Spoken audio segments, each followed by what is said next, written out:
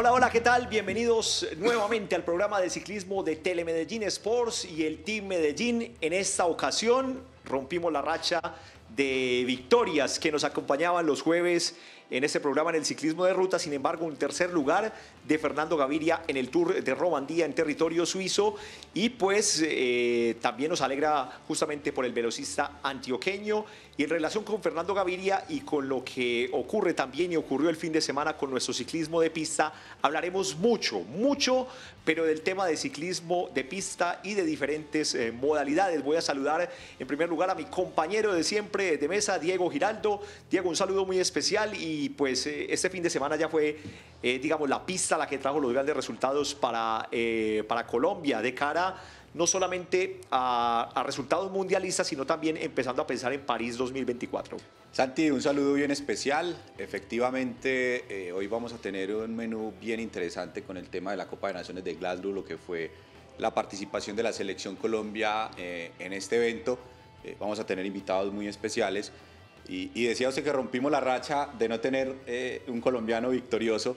Yo hacía, digamos, la cuenta cuando veía el calendario o, digamos, las etapas de, Romandía y esta era, digamos, la posibilidad para Fernando Gaviria, entendiendo, digamos, que era para los sprinter un poco, solo tenía un premio de montaña de tercera categoría. La etapa de hoy vimos que llegó ahí, le tocó perseguir por un momento porque también pinchó, le tocó perseguir. Eh, por un momento también el Ineos eh, puso la carrera muy rápida precisamente para ir eliminando eh, esos velocistas a la llegada eh, y al final el Ineos fue el que se quedó con la, con la victoria de hoy, pero importante el regreso de Fernando Gaviria que, que venía de, de una lesión, de una caída, eh, eh, es el regreso en esta competencia en Romandía y ya tenemos también aquí a José Julián Velázquez, un invitado que por supuesto tiene digamos, muchísimos argumentos para hablarnos de, de, esas condiciones de Fernando toda vez que lo tuvo en sus inicios. Así es, eh, eh, justamente vamos a saludar a José Julián Velázquez, el director técnico general, el manager del Team Medellín, eh, el, equipo que nos acompaña en este proyecto junto a Telemedellín Sports. Profe, un saludo especial y bueno, preguntarle por Fernando Gaviria porque usted me corrige, usted también lo tuvo en, en, los inicios, en cierta forma, cuando estaba en la, en la pista, cuando eh, eh, estas personas del, Tour Mundial empezaron a notar en Fernando Gaviria alguien que podía ser un velocista de, de, la primera calidad y ya ahí se perdió un poco ese proceso en la pista y pues obviamente se fue a la ruta por diferentes factores, entre ellos el económico que también es importante. Entonces, bueno, eh, eh, con, con, el saludo en primer lugar, ¿qué decir de Fernando Gaviria? Y después más adelante ya entramos puntualmente a que analicemos ese sprint eh, del día de hoy, pero ¿qué decir de, del gran velocista que tenemos aquí en territorio antioqueño, profe? Santi, buenas noches a todos y pues a ver, la verdad, Fernando, un gran corredor. La verdad tuve la oportunidad, el orgullo de haberlo dirigido en los dos campeonatos mundiales que, quedó campeón del mundo, al igual que en los Juegos Olímpicos de Río. Y hace aproximadamente ocho días tuve la oportunidad de entrenar con él. Salí, nos encontramos de casualidad por el oriente antioqueño y entrenamos juntos durante dos horas aproximadamente. Él no tenía mucha confianza para esta carrera. Eh, él hace esta carrera y después inicia el giro no tenía mucha confianza porque pues, venía de, de, una fractura de clavícula, aunque sí venía entrenando muy duro. Sí me dijo que, que, estaba entrenando muy duro, es tanto tenía a su entrenador australiano hospedado en el Hotel Movich en, en Río Negro, acompañándolo en una moto, entrenando día a día. Profe, bueno, ya estamos viendo el sprint, lo vamos a repetir en, reiteradas ocasiones, en el que finalmente Ethan Hater eh, y después eh, el, el, español del Trek, lo tengo por aquí anotado porque siempre es bien complicado John ese nombre. ¿Cómo es? John Abrasturi. John Abrasturi, ahí lo tenemos. Eh, Profe, pues vimos justamente cómo Fernando Gaviria arrancó un poco antes, como él siempre lo hace. Él confía en que tiene un sprint más largo, pero eh, en esta ocasión, debido a muchas circunstancias, entre ellas la que usted menciona, que de pronto no está tan bien, no está en, su finura, pues no le alcanzó al final y volvemos a ver el sprint.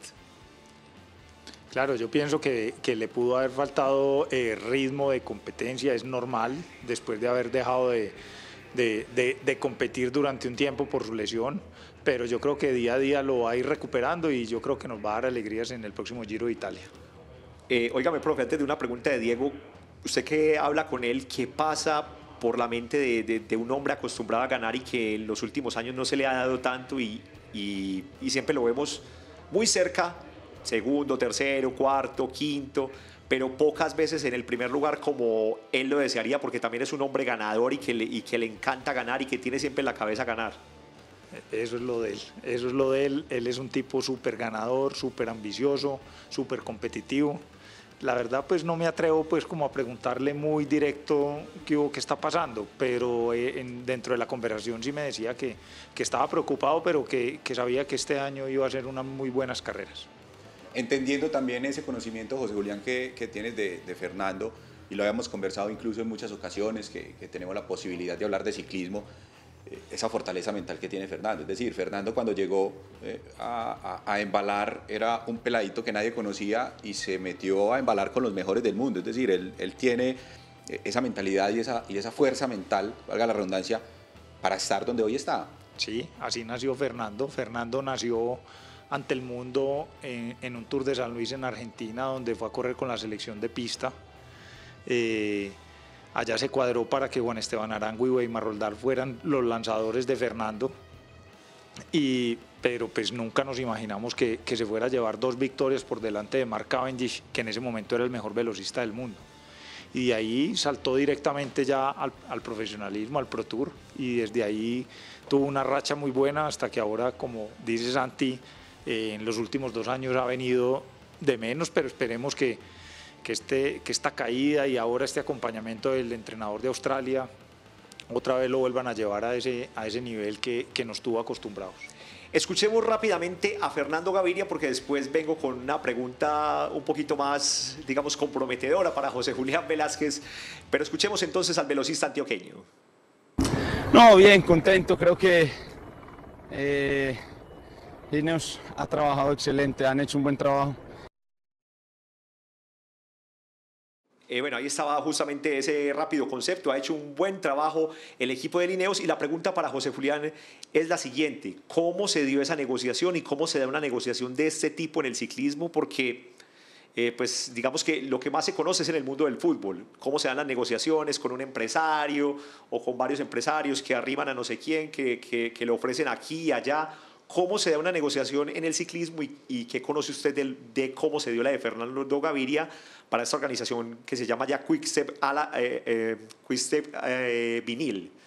Correcto. Eh, primero nace un, un manager que no me acuerdo muy bien cómo se llama en este momento, un manager italiano que coge a Gaviria Machín, el técnico hoy de Emiratos, eh, es el que era en ese momento el técnico encargado de los jóvenes en el Quistep. Fernando va y hace pruebas a, a, Bélgica, les gustan las pruebas y ahí, y ahí lo contratan. Ya después Fernando cambia de, de manager, se va con Giovanni Lombardi y es donde ha pasado de, de equipo en equipo y, y donde ha, pues, ha logrado pues, también sus mejores resultados deportivos. Bien, eh, tenemos eh, invitados importantes, eh, Diego, porque eh, ya tenemos en este momento comunicación con Sergio, Sergio Restrepo, quien se encuentra en el homenaje que le están haciendo a, a lo que usted refería, Diego, a esos corredores y corredoras de la Selección Colombia de Ciclismo de Pista que lograron una gran actuación en la Copa de Naciones de, de Ciclismo de Pista en Glasgow. Sergio Restrepo, un saludo muy especial y bueno, ¿con quién está usted en este momento? Santi, saludo cordial. Eh, pues lo tengo con un campeón, un ganador, con Cristian Ortega, ganador de la prueba del kilómetro en esta primera parada de la Copa de Naciones. Cristian, bienvenido a Telemedellín Sports Team Medellín. Bueno, primero que todo, felicitaciones.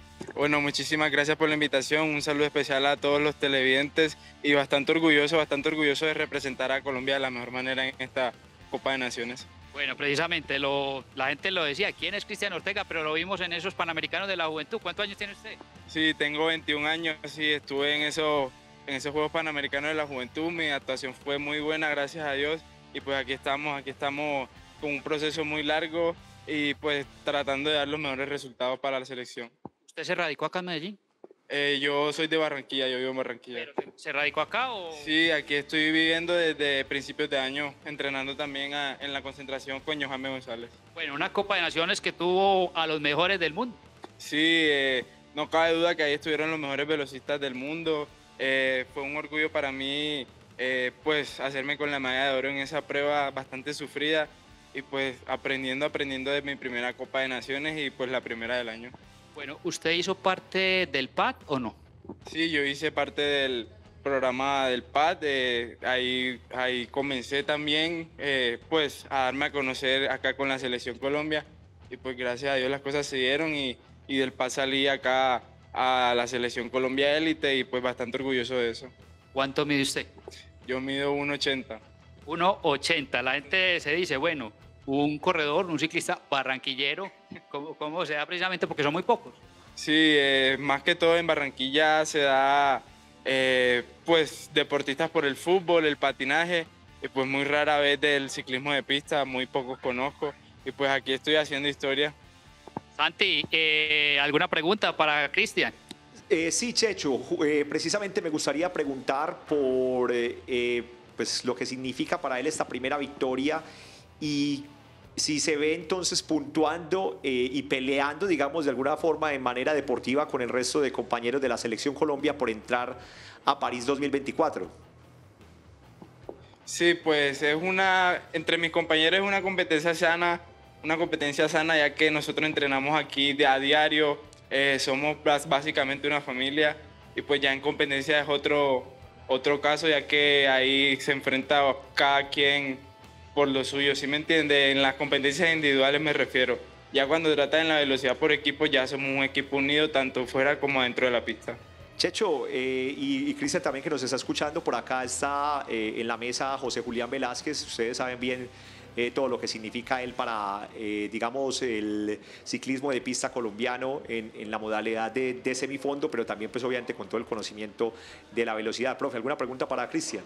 Hombre, Cristian, primero que todo, pues felicitarte, yo creo que una medalla de oro en una Copa del Mundo en la prueba del kilómetro, poquitas veces Colombia la ha obtenido. ¿Qué te quería preguntar? Eh, ahora que ha avanzado tanto el tema de las relaciones, ¿en qué relación corriste el kilómetro? Según mi entrenador Johan González, estuvimos preparando lo que es el desarrollo del plato 63 con piñón 14. Qué barbaridad. ¿Eso qué significa, profe? Eso significa que lleva mucha relación, eh, menos cadencia, pero pues el trabajo de fuerza que ha tenido que hacer, de fuerza y potencia que ha tenido que hacer para mover esa relación durante un minuto ha tenido que ser bárbaro. Sí, señor. Sí, precisamente ahí en la transmisión podemos ver cómo mi inicio de la prueba fue muy lenta a comparación del resto de corredores y ya al final pude mover esa relación, por decirlo así, ya que, como usted dijo, es una marcha muy pesada y así pudimos hacer el mejor tiempo. Exacto, yo vi que hasta faltando media vuelta eh, todavía perdías por una décima y, y, en la última media vuelta ya lograr la medalla de oro. Sí, ya que en ese punto es donde la relación llega a un punto de cadencia en el que uno ya se le facilita mucho más poder mantener un ritmo bueno. Cristian, eh, un saludo bien especial. Teniendo en cuenta estos resultados, teniendo en cuenta el proceso en el que, en el que, en el que estás, eh, cómo te estás sintiendo, este año que sigue para vos, ¿cómo te proyectas?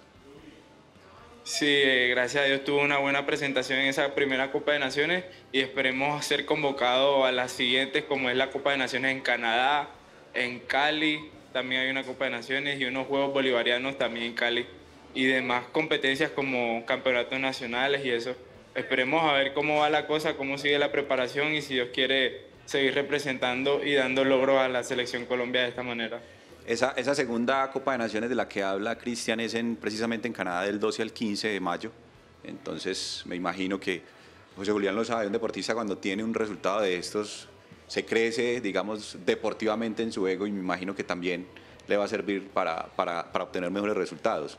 Claro, no, moralmente Cristian yo creo que, que en este momento eh, eh, su rendimiento va a mejorar demasiado. Primero porque va a ganar seguridad Segundo, porque ya está enfrentando a los mejores corredores del mundo y los está enfrentando de tú a tú y ya les ganó una vez.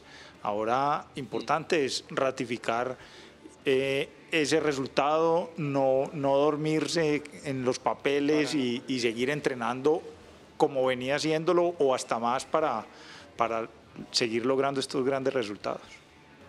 Sí, señor, como usted lo ha dicho, eh, no solamente por haber hecho un buen resultado significa que ya todo esté ya todo esté planteado en la mesa, ¿no? Sino que toca seguir preparando para la próxima competencia hacerlo mucho mejor y si Dios quiere bajar del minuto, que es el sueño de todo velocista en la prueba del kilómetro. Oiga, Checho, muchas gracias por ese contacto a usted. Bonita chaqueta, me la queda debiendo también a mí. Y, bueno, pues despida hermano usted y ya más adelante nos vemos con más invitados. Eh, sí, Santi, por aquí se la, yo se la guardo, yo se la pido a Cristian. Muchas gracias, felicitaciones. De verdad, muchísimas gracias por la invitación y por tenerme en cuenta. Aquí estamos eh, pues para servirles. Ahí está, pues Cristian Ortega, por aquí hay varios, no sé si ustedes quieran aprovechar, aprovechar de una vez a, saludar, por acá está Juan Esteban Arango, creo que está también Marta Bayona, no sé si quieran que lo hagamos de una vez o eh, esperar nuevamente y enseguida retornamos. Eh, Checho, páselos de una vez, hermano. Páselos de una vez que, que tenemos ahí eh, de primera mano a, a, los invitados, a los deportistas. Y pues mientras que Checho hace este contacto, profe, yo creo que podemos ver algunas imágenes de esa Copa Mundo de pista porque usted entrega detalles mucho más técnicos de lo que nosotros podríamos hacer acá. Es importante su conocimiento, por ejemplo, esto de las relaciones que movió Cristian, porque eso uno a priori no lo ve, uno ve resultados, números a, a lo sumo, pero también hay que ver el contexto y sobre todo qué se necesita para mover una relación. No es solamente ponerla ahí, es moverla, que es el, el asunto. No, total. O sea, ahora con esa información que él nos da de que iba con un, plato 63 adelante, las bicicletas normalmente ahora en, que utilizamos el día a día eh, tienen plato 53. O sea, ya imaginémonos 10 dientes más adelante, eh, lo duro que va a ser mover eso, más que es un piñón fijo. Entonces, y que es totalmente plano, no hay bajaditas como, como ocurren en la ruta. Entonces, pues la preparación de este muchacho tiene que ser demasiado específica y, e importante para lograr esos resultados. Vale, vale la pena también dar, dar un concepto frente al biotipo que tiene el deportista para atreverse también a mover ese tipo de relaciones, José. Obvio, tiene que tener una masa muscular demasiado desarrollada. Eh, sí, eh, Checho Restrepo ya está listo entonces con Marta Bayona. Checho, regresamos contigo. Regresamos con esta atención a medios que ha organizado la Liga de Ciclismo de Antioquia y una de las corredoras, si no la más destacada de esta Copa de Naciones en Glasgow, pues sin lugar a dudas ha sido Marta Bayona, que logró hacer ese arco iris, oro, plata, bronce y demostrar, Marta, bienvenida a Noticias a Telemedellín Sports Team Medellín. Eh, felicitaciones y bueno, regresar con, con triunfo siempre. Hola, muchas gracias. Saludos a todas las personas que me escuchan. Eh, sí, muy contenta porque se entrenó muy fuerte para, para hacerlo muy bien y bueno, gracias a Dios eh, logré estar en lo más alto del podio. Bueno, certificando no solo que, que está de regreso, sino que ya está perfilada para ese nuevo ciclo olímpico. Sí, claro, es un proceso que llevamos y empezamos bien el año. Eh, ahora se viene una copa en Canadá donde también queremos hacerlo muy bien y acumular puntos también para el Mundial y, y claro que para una Olimpiada. Esa prueba de los 500. Eh, bueno, una prueba que, uno no sabe cómo va, realmente hasta que no terminé y, y di una vuelta en el peralte no pude ver si había ganado y la verdad me dio mucha alegría, eh, lo hice muy bien, eh, hice buen tiempo y, y, bueno, me preparé mucho para hacerlo bien. Precisamente en ese camino y en esa curva, el tiempo que... Eh, no, pues realmente y en, las dos vueltas pues uno sale y, y va a bloque en todo momento, ya al terminal al terminar la carrera pues, del impulso, entonces no llegué muy cansada y no me da para mirar el, el tablero y ya cuando lo vi, bueno, mucha alegría de haber ganado. Santi, Santi, los escucha Marta Bayona. Hola Marta, un saludo muy especial. Eh, Santiago Ramírez eh, te saluda. Y pues, en primer lugar, felicitarte pues como por este gran resultado en territorio escocés. Y después preguntarte eh, por de pronto no sé si el guayao que se puede sentir, no sé cómo llamarlo, esa sensación, teniendo en cuenta que estás muy bien, siempre lo has estado y, no pudiste estar en eh, los Juegos Olímpicos de Tokio, pero me imagino que la motivación obviamente es este ciclo corto de cara a París. Sí, bueno, eh, realmente pues sí fue una tusa para mí no haber estado en Tokio, eh, al quedarme con, haciéndome falta 10 puntos, yo creo que de pronto me relajé un poco, me confié de pronto de que iba a estar y y bueno, no fue duro asimilar eso. Eh, ya ahora creo que empecé bien y quiero eh, terminar bien, que no me hagan falta puntos y poder estar en una próxima Olimpiada. Marta, Marta fue la gran figura, por supuesto, de la selección colombiana en esta Copa de Naciones en Glasgow.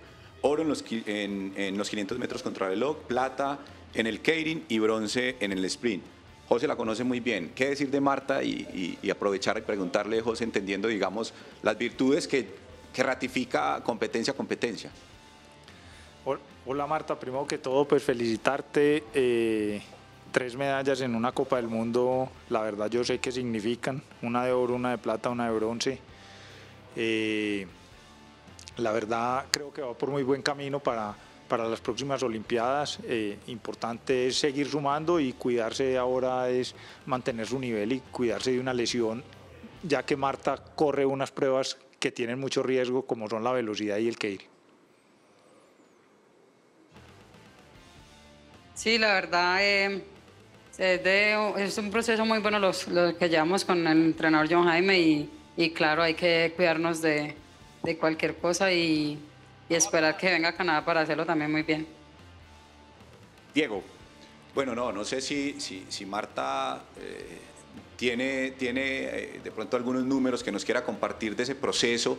Eh, de, rendimiento, entendiendo, digamos, también lo que, lo que decía Santi.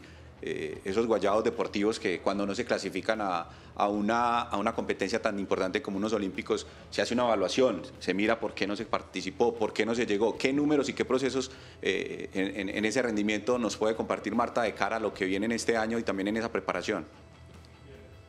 Bueno, realmente la clasificación es algo complicado porque pues, se necesitan suficientes puntos. Eh, también lo otro fue que en el Mundial cuando estuve perdí puntos y, las mexicanas, yo digo que en la velocidad de equipos eh, lograron hacerlo muy bien y eso les abrió cupo a ellas en las pruebas individuales y bueno, quedando Bayona por, por fuera de, de una individual. Marta, eh, finalmente me gustaría preguntarte por lo menos de, de mi parte si sigue, pues obviamente ese objetivo entre ceja y ceja, que es el arco iris, que yo creo que es merecidísimo por, porque has dominado eh, pues, eh, pruebas como el Keirin a nivel mundial porque ha sido número uno del ranking y pues yo creo que eso está ahí, eh, como te digo, entre ceja y ceja. Sí, claro, el sueño para el mundial siempre ha estado desde que logré estar en el segundo puesto en el 2017 y bueno, ahorita este año yo creo que, que quiero que sea diferente y quiero ya aportar un arco iris, entonces estoy preparándome muy fuerte, entrenando duro eh, con el proceso de mi entrenador John Jaime y yo creo que todo puede ser posible. Checho. Eh, no, agradecerle. Marta, finalmente la hemos visto más gruesa.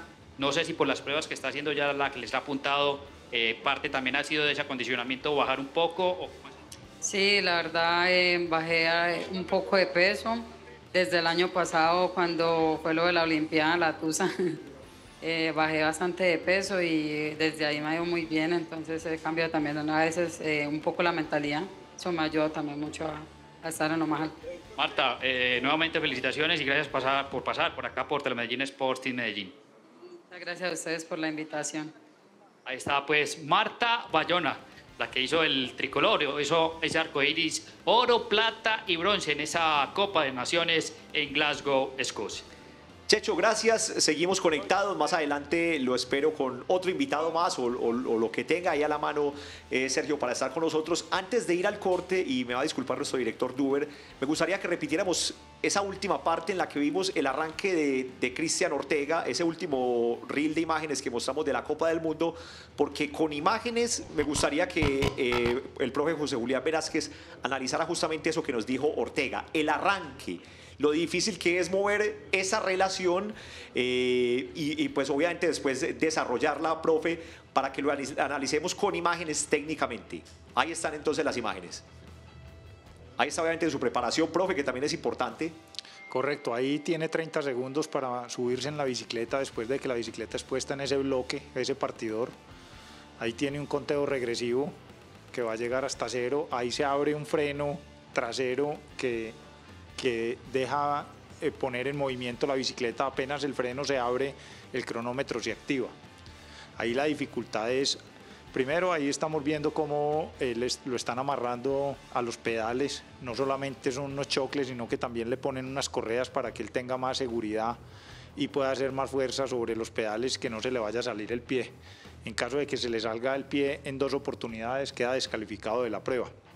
Ese inicio es muy difícil entendiendo la, la relación, e- e- ese arranque. Ahí es muy difícil es el conteo, porque hay que salir exacto con, con- con el reloj y en el momento en que se abre el partidor. ¿Por qué? Porque si uno hace fuerza antes de que se abre el partidor, sale en falso y luego ya el partidor se abre y, y volver a hacer otra, un segundo esfuerzo, se demora uno alrededor de cuatro décimas, cinco décimas, que es medio segundo, entonces vas a perder medio segundo en una vuelta que ya es eh, perder la carrera. Aquí en esta primera vuelta fue prácticamente de acomodación. Salió y, y estuvo medio a lo parado en pedales y ya, justamente cuando dio la vuelta completa se logró acomodar en la bicicleta. Eso dice de, de lo difícil que es mover esa relación. Santi, la verdad, en el kilómetro no hay acomodación. En el kilómetro, desde que yo empecé a correr en bicicleta, que empecé en el kilómetro y llegué a ser campeón nacional, el kilómetro, la única, eh, lo único que tiene es, es arrancar con todo y terminar con lo que le quede a uno. Ahí no hay estrategia, ahí no hay nada. Ahí es solamente condición física y la verdad él tiene que salir a lo que le da a su organismo. Y, y por la gran relación logramos ver que su salida fue perdiendo siete, siete décimas con los rivales. Bien, esos son los conceptos, Diego, sí, señor. No último, eh, digamos que si bien él manifestó que esa relación le permitió al final incluso recuperar el tiempo que, que iba perdiendo, el no poderla mover o estar no bien preparado también puede ser un impedimento de antes echar el tiempo para atrás. Sí, Diego, pero no es que porque lleve mucha relación y puso mucha relación por eso va a ganar, no. También es, su- es la preparación, la buena preparación que tiene para mover Es esa un arma de doble filo, es lo que quiere decir. Eh, exactamente, claro. Si, si está mal preparado y lleva mucha relación, antes se va a enterrar más. Pero como tiene una buena preparación, además que para mí tiene algo muy importante. Viene del Atlántico, viene de Barranquilla, de nivel del mar. Entonces, el hecho de estar allá genera más potencia que estar entrenando en Medellín por tener más altitud sobre el nivel del mar. A, a ma- a mayor altitud, las masas se desplazan con mayor facilidad. Y ahora en Glasgow estaba corriendo a nivel del mar. Entonces, eh, ahí él tiene cierta ventaja con los corredores que están eh, 100% en Medellín o en Bogotá. No al contrario de lo que es la ruta, Claro. que ahí sí necesitamos la altura para subir esas grandes montañas. Bueno, los detalles técnicos del profe José Julián Velázquez, teniendo en cuenta pues que obviamente sabemos que Escocia le dicen siempre las tierras altas de, de Gran Bretaña, pero sigue siendo una isla. Vamos a hacer una breve pausa y al regreso más detalles, más contenidos aquí en el programa de Telemedellín Sports y el Team Medellín.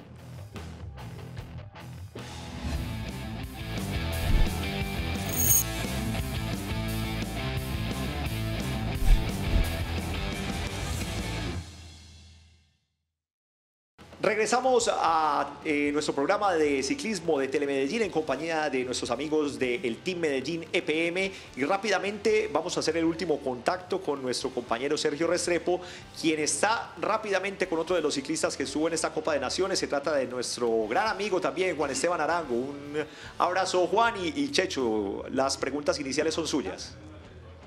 Claro que sí. eh, saludamos, reiteramos el saludo, Juan. Bienvenido a Telemedellín Sports Team Medellín. Y bueno, en el semifondo, las pruebas en las que estuvo y qué tal. Bueno, Checho, un saludo para todos, para Santiago y para el Chivo en el, en el estudio. Eh, bueno, en resultado creo que no ha sido el mejor resultado que he tenido en una Copa del Mundo, pero también uno tiene que ir eh, con una meta realista y un objetivo claro eh, de volver a conseguir y volver a estar a, a ese nivel, de asimilar esa nueva velocidad. Nueva velocidad no, una velocidad a la que andan más rápido. Nosotros hace seis años aproximadamente no íbamos a mundiales y copas. El mundial pasado estuvimos en octubre y fue como un, choque en ese momento porque la velocidad ha cambiado mucho, el promedio de velocidad ha cambiado mucho, se usan, se relaciones más altas. Entonces del mundial del año pasado aprendimos mucho, fuimos a esta copa con otra mentalidad también, de seguir aprendiendo, de tomar otra vez ese nivel. Ya por lo menos estuvimos muy activos en las pruebas de grupo, eh, viendo carrera y no, digamos que el año pasado fue un poquito más de sufrido ese mundial por haber regresado después de seis años de, de no estar a ese nivel. Usted ha sido de los únicos pisteros que lo ha combinado precisamente con la ruta. ¿Se siente? Bueno, actualmente estoy corriendo carreras en Estados Unidos que son más afines a la pista, circuitos de una hora, hora y media, muy intensos, eh, de gran potencia, y eso también ha ayudado mucho a volver a estar en un muy buen nivel en América, pero ya para estar a un nivel mundial tenemos que correr a nivel mundial. Santi, ¿los escucha Juanes? Eh, profe, yo creo que ya el guayabo es suyo, ya no es de Marta Bayona, sino el guayabo deportivo es suyo al, al ver lo que se ha perdido con, con el proceso que, que, se cortó del semifondo. Pues Juan Esteban lo acaba de decir, eh, seis años sin, sin, participar a ese nivel, aunque el año pasado pues estuvo, pero, pero no ha habido eh, una constancia en, en, en, la participación y en la preparación a, a este tipo y a este nivel de, de competencias. Yo creo que en todo caso Juan tiene un gran nivel, un gran potencial, pues él lo ha demostrado, él, él ha sido medallista mundial, medallista en Copas del Mundo, campeón panamericano y, y, y tiene todo para, para, seguirlo haciendo. Es un muchacho que se entrena juicioso, que, que es constante, que es un profesional y, y, sé que ahora en la próxima Copa del Mundo de Canadá posiblemente no, no logre una medalla, pero logra mejorar, logra otra vez entrar en, en, el calor de la competencia, en el ritmo de la competencia. Y es autocrítico, José Julián, que es muy importante en el deportista, saber en qué, en qué tiene que mejorar. Y se va a ir tomando confianza, o sea, el, el hecho de, como lo dice Juan, de, de, de estar en una pista a una alta velocidad. Eh, eh, en una pista de madera, él entrenando en una pista de cemento a una velocidad eh, inferior a lo que se está corriendo, pues obvio que causa inseguridades en ese momento. Pero ya ahora en Canadá eh, ya al menos conoció lo, lo, la actualidad otra vez y, y yo creo que, que, va a mejorar su nivel y, y, tiene todo el potencial para hacerlo. Juan. Sí, eh, Julián tiene, tiene, va por el lado que es con, con, con la observación. claramente uno se va cogiendo confianza vuelve a ese ritmo de carrera y bueno, dice, ya puedo, puedo intentar hacer esto, esto, tengo que mejorar aquí, allá. Y creo que todavía me quedan unos, un par de añitos para seguir dándole a la pista. Eh, he tenido dos años muy, muy sabrosos, por decirlo así, me lo vengo disfrutando bastante con las carreras en Estados Unidos y las carreras de pista. El año pasado fue muy bueno en resultados de pista aquí a nivel América y en la Copa del Mundo de Cali. Entonces, eso me deja muy motivado para seguir y para... Eh, pues las ciclistas que vienen jóvenes también, irles enseñando el camino. Bueno, eh, Sergio, muchas gracias, muchas gracias Juan. ¿Cuándo es el matrimonio, hermano, para ir ahorrando? ah, no, yo creo que por ahí a fin de año. Ahí estamos ah, cuadrando. Bueno, ahí estamos pendientes, rápido hermano. para que no le toque a uno la lavadora. bueno, saludos a todos. Chao. Bueno, muchas gracias. Gracias, Checho, por este contacto, por ese trabajo allá con, con los muchachos de pista que nos han dejado eh, nuevamente en alto. Santi, no, con todo el gusto. Nosotros estaremos aquí también compartiendo un poco con ellos también. Ha llegado Kevin Santiago Quintero, Juan Diego Ochoa también, que es uno de los nuevos corredores que está ahí. Y pues a, a, compartir con ellos también porque aprovechar también que Medellín se ha convertido también en ese centro de desarrollo del ciclismo de pista, no solo en el tema élite, sino también en ese programa avanzado de desarrollo. Era Checho Restrepo entonces con el homenaje que le hacen a estos eh, campeones de esta Copa de Naciones de Ciclismo de Pista. Dos oros, y... dos platas y un bronce el sí, resultado señor, final. Sí, señor. Gran actuación del seleccionado colombiano. Diego, seguimos con usted porque eh, aquí ya usted es el tema, en este tema sí es experto. Ha preparado muy bien junto a José Julián y junto a todo eh, el staff del Team Medellín lo que viene que es dos temas. Primero, el Tour del Chivo, que ya nos va a contar usted de qué se trata, por acá el Chivo se ríe, y la Ruta Medellín. Son dos eventos diferentes, dos objetivos diferentes, pero importantes para el equipo. Empecemos a hablar de Ruta Medellín. Ruta Medellín es ese evento ciclístico para recreativos que organiza el equipo digamos que, que, nació bajo esa intención de acercar un poco el equipo también a todos esos competidores que vemos día a día y que lo hemos mencionado acá en el programa. Son muchos los ciclistas recreativos que tiene esta región, Medellín y esta región del oriente antioqueño, y a partir de allí se creó entonces Ruta Medellín. 22 de mayo el evento, José Julián, empecemos a hablar de detalles técnicos, eh, cómo va a ser el recorrido, cuánto se va a recorrer y demás. Bueno, a ver, yo hoy quisiera decirles que, que Ruta Medellín se, ha convertido en uno de los eventos más importantes de Ciudad de Medellín, uno de los eventos deportivos más importantes que tenemos. Este año vamos a tener el 22 de mayo Ruta Medellín con 78 kilómetros, con un recorrido saliendo de EPM, yendo hasta la Feria de Ganado en Bello, regresando nuevamente a Medellín, pasando por toda la Avenida Oriental, la Avenida del Poblado, cogiendo nuevamente la autopista sur para llegar a Caldas. En Caldas regresamos nuevamente a Medellín y terminamos en el Alto de Las Palmas. ¿Cómo se hace el tema de, de la premiación? Sabemos que es un tema recreativo, pero, pero en los recreativos hay, entre los recreativos hay competencia. Entonces, digamos que hay unas categorías y cómo se van a escoger entonces esos, esos ganadores. Correcto. Vamos a tener una premiación que, que entregamos a, por categorías. Vamos a tener cuatro categorías en hombres y cuatro categorías en mujeres. Estas categorías son por edades.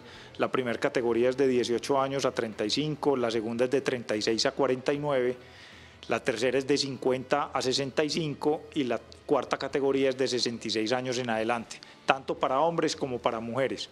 El reglamento de la carrera, cómo, definimos quiénes son los ganadores por categorías y grandes campeones.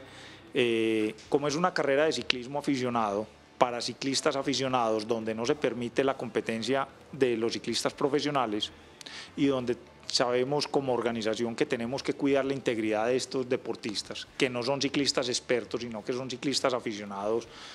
Lo que hacemos es hacer dos cronometrajes intermedios durante la competencia, dos cronometrajes que, que, no ponen en riesgo la integridad de los deportistas. El primer cronometraje va desde, desde el municipio de Itagüí hasta el municipio de Caldas aproximadamente con 10 kilómetros de cronometraje. Y el segundo cronometraje va desde el Country Club subiendo Palmas hasta el Alto de las Palmas. Ese es el sabroso. Ese es el sabroso y la suma de los dos cronometrajes arroja el campeón. Muy chévere, muy chévere el concepto, profe. Y teniendo en cuenta la idea de eso, a ver, cuando usted se ideó el Team Medellín, yo creo que surgieron dos, dos ramas. Primero, eh, posicionar a la ciudad, como usted lo ha dicho, a nivel internacional, con victorias, con llevar un equipo.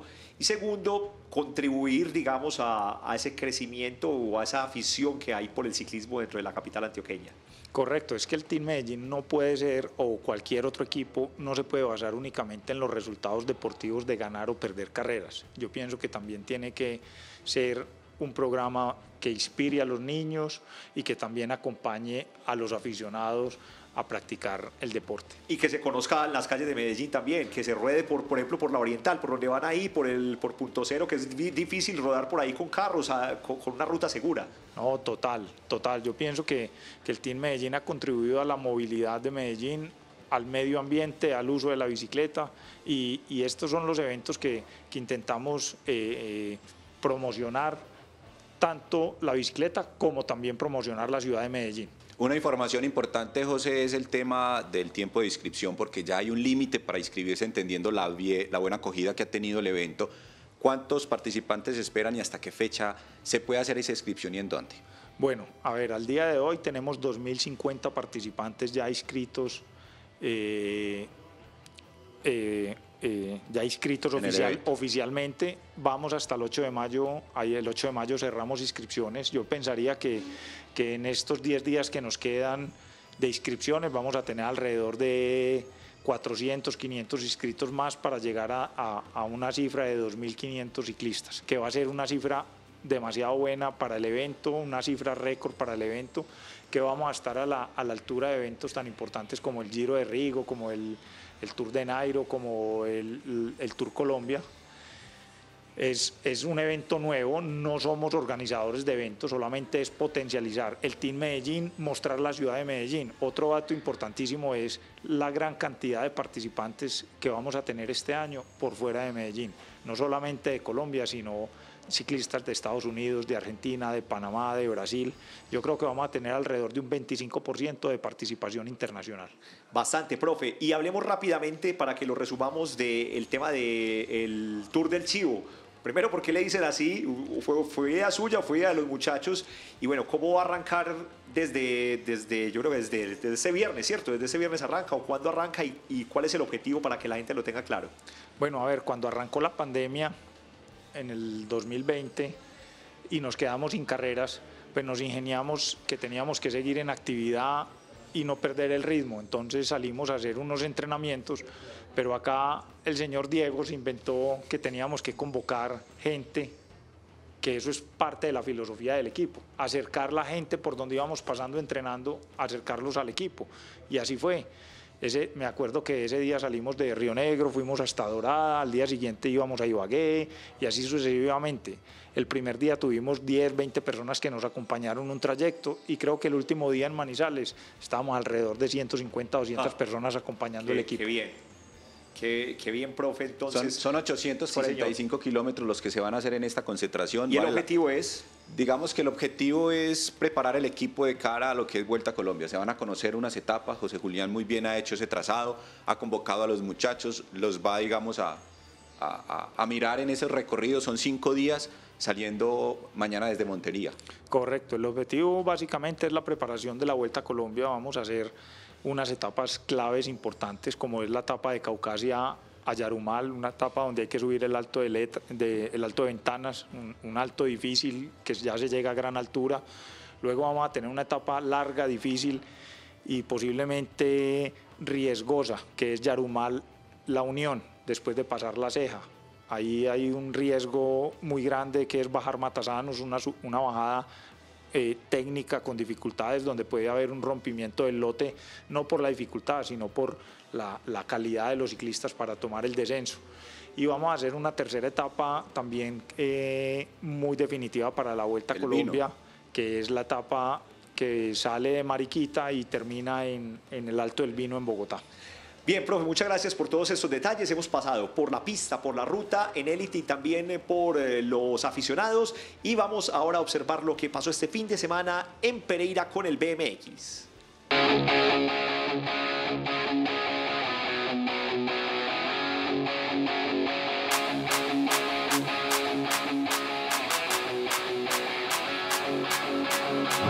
La ciudad de Pereira fue el epicentro de la acción deportiva durante este fin de semana gracias a dos eventos, las quinta y sexta válida de la Copa Nacional GW Shimano y la final de los Juegos Supérate donde Antioquia fue protagonista.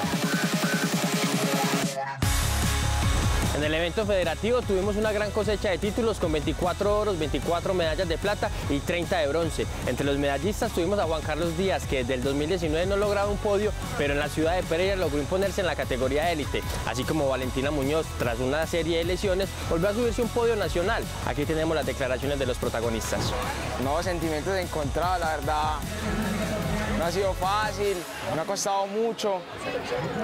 Obviamente, esto es, lo, esto es lo que me hace feliz, por esto todos los días me levanto. Y el de arriba sabe las cosas que uno hace, entonces hay que seguir luchando. La verdad estoy muy muy feliz porque se puede decir que es mi primer nacional que corro y mi segunda carrera del año, entonces no se imaginan cómo estoy de feliz, emocionada y quiero más, más. Finalizada la acción de la Copa Nacional GW Shimano, dimos paso a la final de los Juegos Supérate donde tuvimos cuatro antioqueños, quienes disputaron la gran final y lograron dos medallas de oro y una de plata. Ellos también pasaron por acá por nuestra cámara y estas fueron sus declaraciones tras el triunfo antioqueño. كبر كبر كبر Se dio una carrera muy diferente a las demás, ya que el clima está un poco lluvioso, pero la pista está igualmente muy buena, pero obviamente con muchas precauciones a la hora de competir. Lo bueno de, esta- de estos Juegos Intercolegiados es el premio pues, de la beca, ya que nos motiva a estudiar y a seguir en el deporte, hacer las dos cosas que nos proyectan en la vida. Muy feliz de los resultados obtenidos, pues mis compañeros se desempeñaron de la mejor manera en la pista y pues yo no fui la excepción. Di todo lo que tenía, me sentí muy orgullosa de correr con personas de otra categoría que más adelante pues me tocará encontrarme con ella a nivel nacional y mundial. La próxima cita del BMX antioqueño será la Copa BMX Antioquia, la cual se realizará en este escenario el 7 de mayo y tendrá transmisión de Telemedellín aquí TV. Así que vamos a programarnos desde ya para que vivamos esta gran fiesta en la pista Antonio Roldán Betancourt. Chao, chao. Bueno, ahí está entonces otro de los eventos que tendremos eh, en ocho días, el eh, sábado 7 de mayo, eh, la Copa de BMX a través de la señal de Telemedellín Sports. Volvemos para este último bloque de nuestro programa de ciclismo y pues como ustedes lo vieron bien, la semana anterior tuvimos un concurso, aquí exhibimos las camisas, los jerseys de- del Team Medellín. o el jersey más bien que íbamos a rifar y pues quedó la ganadora quien nos acompaña a esta hora. Hola, un saludo muy especial y bueno, bienvenida y a, a- a quedarse con lo suyo, a reclamar lo suyo. Un saludo muy especial. Hola, de antemano, mucho gusto. Me llamo Eliana, estoy muy contenta. Pues no me lo esperaba cuando ayer estaba en la universidad y, vi el mensaje. Yo, y empecé a gritar y a llamar a mi mamá como una loca y a mi papá. Checho, el, eh, Diego, cuente cómo fue el, el, concurso y bueno, cómo fue que Eliana se, se, ganó este, este premio. Digamos que el concurso salió en las redes sociales de Telemedellín. La idea era que pudieran participar eh, comentando eh, dos ciclistas que le gustaban, un ciclista que le gustaba y que etiquetaran a dos personas más y adicionalmente que fueran seguidores del Team Medellín. La persona que tuviera más me gusta o like en el comentario, pues iba a llevar esta camiseta, mira, esta hermosa camiseta del Team Medellín. Estábamos hablando aquí con Eliana que tuvo como 156 me gusta yo no sé si es que la familia es tan grande, Eliana, ¿de dónde salieron 156 likes? A ver, ¿cómo fue la estrategia? Nada, yo empecé a mandarle a mis compañeros de la universidad y a mis amigos que le empezaran a dar me gusta a todo el mundo y lo publicaba en las historias y me hicieron el favor. Bueno, entreguemos entonces oficialmente la camiseta del Team Medellín. Muchas gracias. Y la sorpresa, porque tenemos una sorpresa adicional. Habíamos dicho que era una camiseta, pero el equipo también ha separado la badana oficial, la pantaloneta y vamos a entregarle entonces un uniforme completo del Team Medellín EPM, el orgullo de la ciudad. Muchas gracias, está súper bonita. Eliana, para que lo exhibas en la ruta Medellín, me imagino que, que vas a intentar estar o... Sí, yo voy a claro, intentar estar, allá, allá, allá vas a estar. Y también, pues me imagino que para que sigas ahí fiel con nosotros en el programa, porque de eso vamos a tener constantemente eh, muchos temas, muchas premiaciones con, con, los patrocinadores también. Entonces por aquí van a tener de invitada constante. así es, así ahí fidelizando, profe, a, a, nuestros televidentes y pues usted lo dijo en el primer programa, aquí vamos a tener cosas del Team Medellín y así se ha cumplido. Sí, no, así será y así seguiremos y, y esperemos que este año seamos bien dinámicos haciendo bastantes concursos. Ahí tenemos la última para ir rápidamente con otro ah, sí, tema, profe, eh, eh, esta última para esta, que esta camiseta también la habíamos anunciado. A, las cámaras, esta, la habíamos anunciado. Hace ocho días. Pero esta, don Diego, usted para que haga claridad o el profe, ¿quién lo tiene bien Este fin de semana, este fin de semana pendientes de las redes sociales de Oscar Sevilla, de Instagram. Vamos entonces a salir con, con las eh, reglas o, las, las normas para que participen por esta camiseta. y la próxima semana anunciamos entonces el ganador de esta camiseta que va a salir por las redes sociales de Oscar Sevilla.